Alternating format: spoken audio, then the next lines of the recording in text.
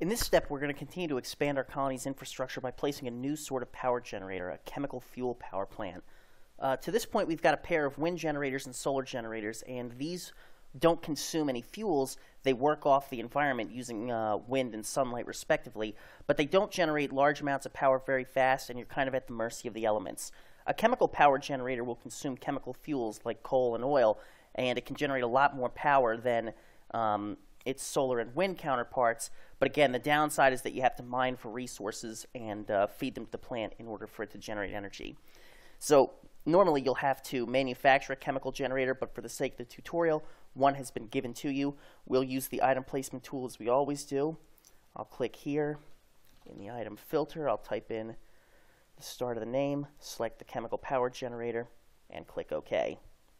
One of our colonists will then get to work placing that. And once it's been placed, I'll go ahead and pause the game again.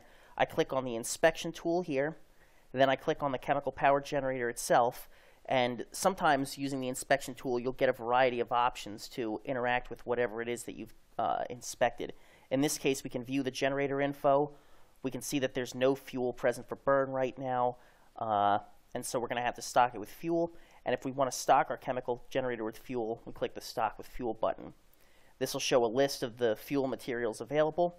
I'll select anthracite coal, which is a uh, high quality sort of coal. I'll give it 500,000 units. I'll click OK. When I go to the orders, um, there will be a uh, there will be an order present for transporting the coal to the generator. I'll let that run. One of our NPCs will make his way over. We'll stock the generator. We'll check it out again. When we view the generator info, we'll see now that there is available fuel, and this will give a rating, and the rating is basically correlates to how much energy this will produce.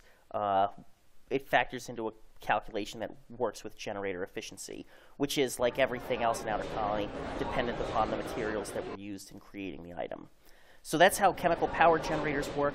Now that we have this set up, our energy needs are squared away. We'll be able to power these water vaporators running at full capacity, plus all of the other uh, equipment that we're about to place.